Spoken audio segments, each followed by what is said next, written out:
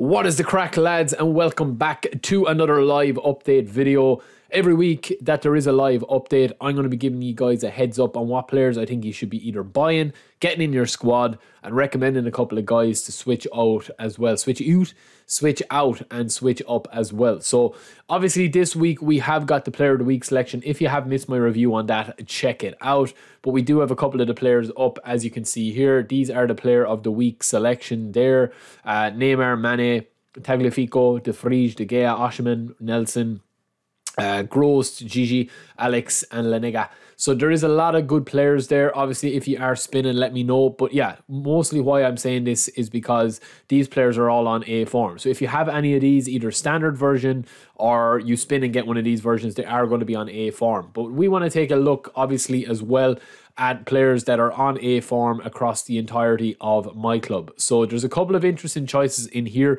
and a couple of guys I definitely recommend um, for, you know, if you have a bit of GP as well.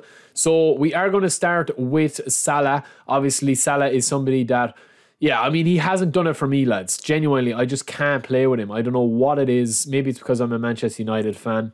All right, lads. So Salah obviously starts off at an 88 overall as a right winger. Now he can play up front as well, but yeah, I mean, if you boost him up, obviously I would be focusing on if you're playing him up front, focusing on his shooting, and if you're playing him as a winger, maybe that's where I've gone wrong. I've tried to play him as a winger instead of up front. I know a lot of people rate him up front because he does have a really nice combination of skills up there. But yeah, you can get his speed up to the 90s and his acceleration up to the 90s and his ball control to 90, which is extremely good. If you wanted to throw a couple into finishing, you could, or else you could obviously boost up uh, whichever you want, playstyle proficiency or whatever, or else you can just ignore that and boost up his speed a little bit more. And maybe he um, you know mess around with that. But he does go to a 96 97 depending on how you you, you rate him up or you you boost him up.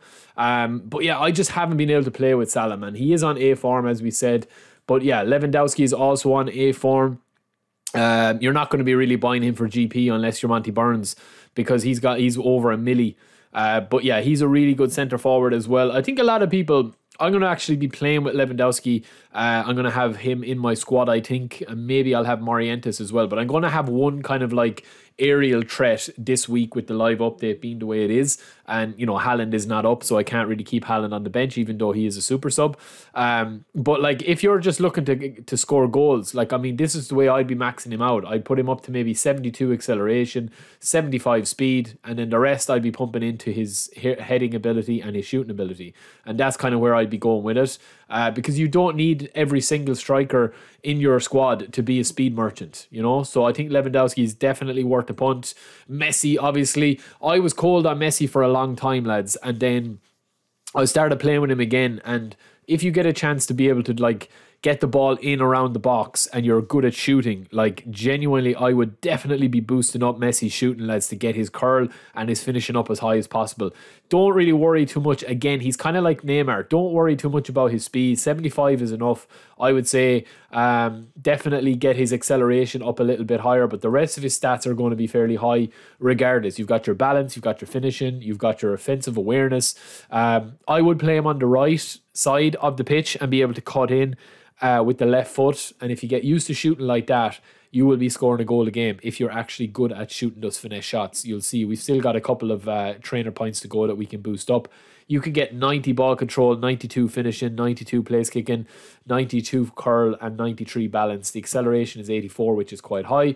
We've also got De Bruyne. I actually have two versions of De Bruyne. Um, I play with him when I'm used, usually doing the events, which I don't really record. Uh, I just do that for the training points or whatever again, De Bruyne is De Bruyne. I mean, he's some passer, like absolutely insane passer. You get up to the 90s in passing there very easily. You can get up to tight possession 85 very easily. And then the rest can just go into, into um, speed and pace. Like you don't need to boost up his pace too much. A lot of people like that I've talked to said that they play him CMF, but I definitely wouldn't play him CMF because even if you boost up his defensive stats, you're not going to be winning the ball with him. I would literally just like make him the complete kind of player uh, that when he gets the ball at his feet, he's going to be able to dominate, and that's kind of how I would do it.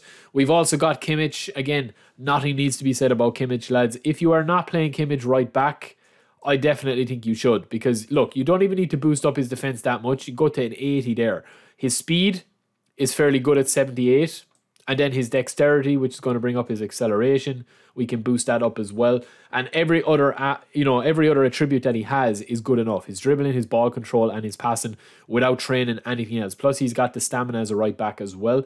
And he's got a load of really nice player skills, such as pinpoint crossing and early cross. So I know a lot of people like him as DMF, but I definitely wouldn't sacrifice him. I would put him as a right back. He's one of the best in the game. Neymar, we have got Neymar and Messi both in A form this week. Mbappe isn't. But Neymar, again, like I don't need to say much more about Neymar, lads. He's top five in the game. There's a player of the week version of him there as well.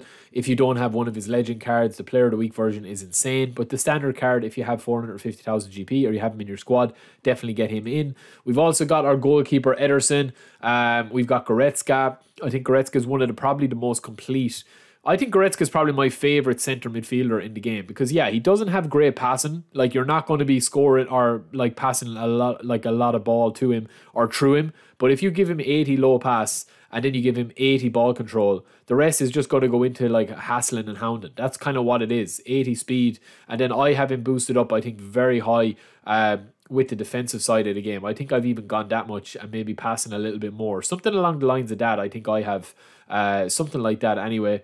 And maybe we have one out wide there or something like that. I think that's how I kind of have him trained up. But if you don't have Goretzka, lads, and you have 300,000 GP, I genuinely think he is the best centre midfielder in the game.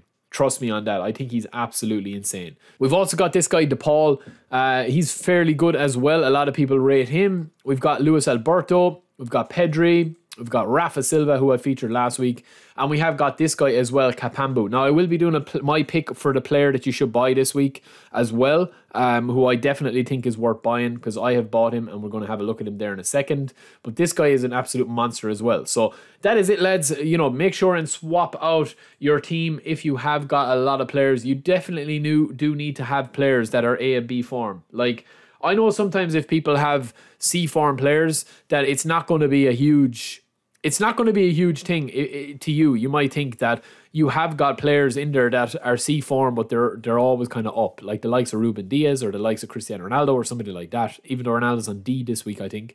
Um, but yeah, I definitely would. You know what I mean? I definitely would be kind of getting the players out that you don't need. Like, just don't take the risk on it. There's so many good players that you can try out and test that can slot in. Like for example, Dembele is down this week. I have Neymar in. Do you know what I mean? So you don't need to. I definitely wouldn't be. Um, I definitely wouldn't be like just keeping players in just to keep him in there. Like especially if he's on D or C, because there's just no point. Like for instance, Donna is on D form this week. As far as I know, Donnarumma is on D form this week. So I'm going to have to swap him out, and I've actually put in Ter Stegen into my squad. Uh, so yeah, that's kind of the way I've done it. But yeah, definitely fill your team with A and B, ABBA as I call it. Fill your team with ABBA, lads, and play ABBA music while you're doing it. But yeah, that is it for me. Also, next week we do have an Italian national deluxe team coming. And yeah, I'd say Donnarumma is going to be fairly high rated in that. The player levels need to be updated a bit, but all the players are going to have the team play style. So uh, that's going to be one to watch on Monday as well. So that is it for me, lads. I will talk to you later. Don't forget to subscribe. Let me know what players you are using this week. Peace.